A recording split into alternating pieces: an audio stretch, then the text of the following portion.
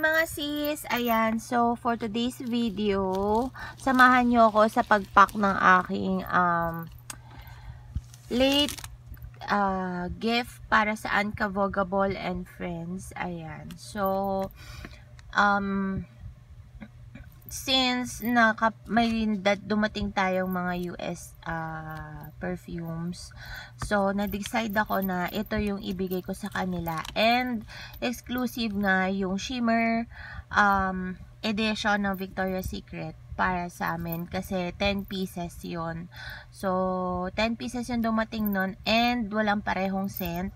So, 10 kami kaya ayan, uh, nag-decide ako na um, yun na lang yung aking ibigay sa mga kumare ko. Ayan. So, syempre, pinapili ko na sila sa GC. So, hindi na to surprise.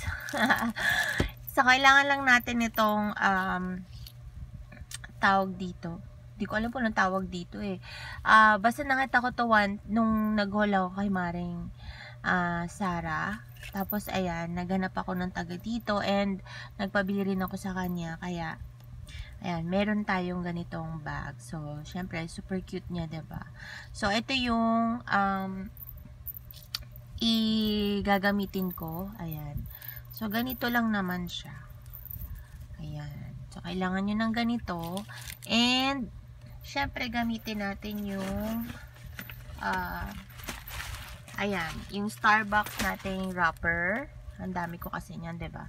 Then, syempre, ito ay nilagyan ko na ng pangalan. Ito yung napili ni Maring Ana. Yung Velvet Petals Shimmers. Ayan. Ito daw yung sikat ngayon, sabi ng mga millennials. Ayan. So, ito yung sikat ngayon dahil ah uh, yung isang pamangking ko, yan din ang bet niyang scent.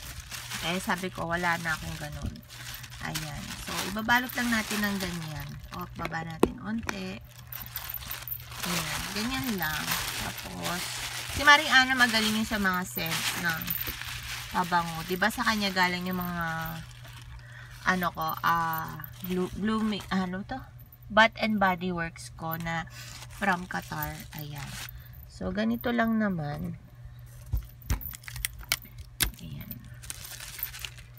Yan. Tapos, saka natin siya i-shoot. O, oh, diba? Yan. Then, syempre, kailangan natin ng stapler. Yan. Yan. Pagka stapler ng ganyan, syempre para, baka naman makalimutan ko yung pangalan, diba? So, kuha na ako ng, yan.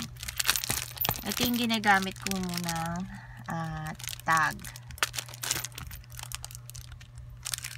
So, gamitin natin yung yellow para termo. Oh, char. Ito.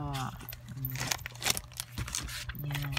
Then, butasan natin siya. Asan yung aking pambutas?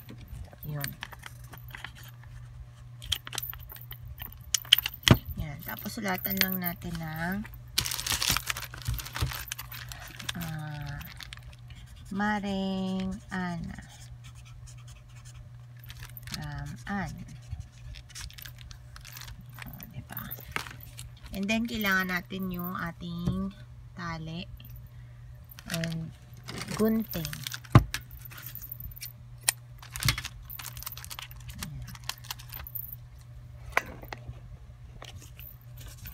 Tapos, tali na natin siya dito.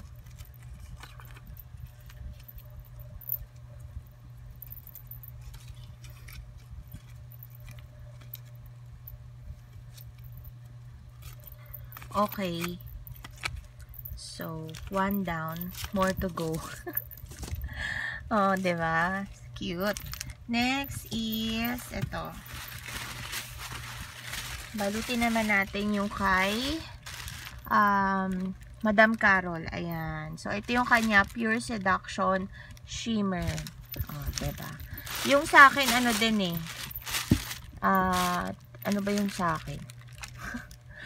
Temptation, Temptation Shimmer. Ito yung akin.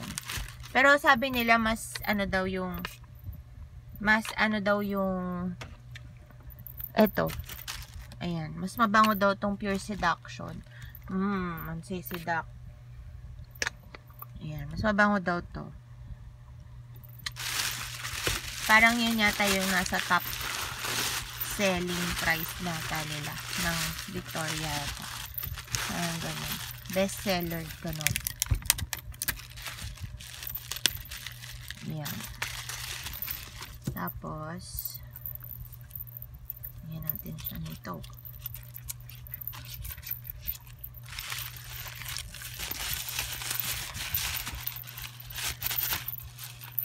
Ayan.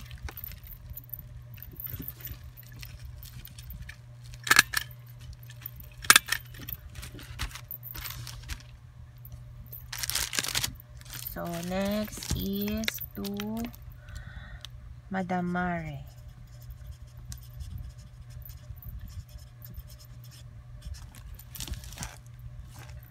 Yan. Yan. Tapos,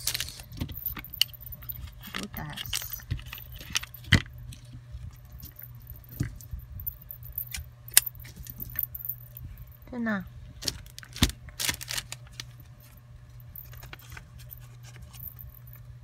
Di ako nag-gloves. Ganyan ang nag- nangyayari pag nag-gloves ako. Nasusulatan ko yung gloves. Kaya next time magba-black gloves na ako. Kasi dugyot ng mga gloves ko dahil nasusulatan ng marker. Ayan. Okay. Oo, nakakadalawa na ako. Next. Um, ano to?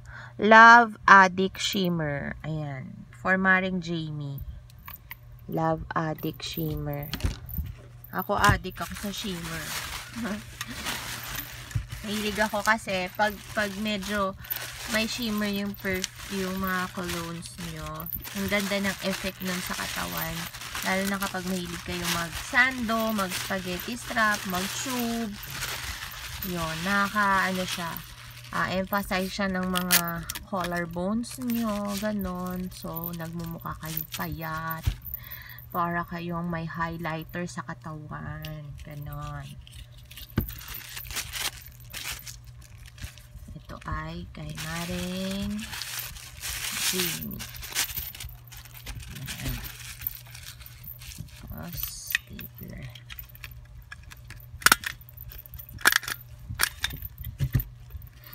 Tapos, tali.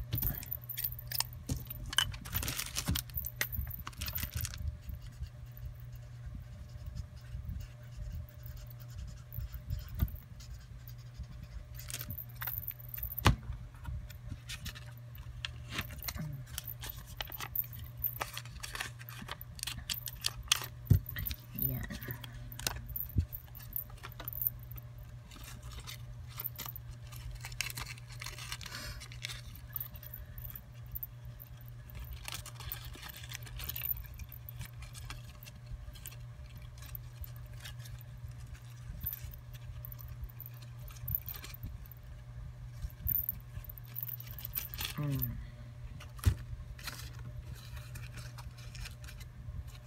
Okay.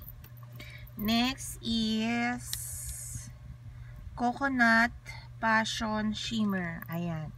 For Tita Vessi.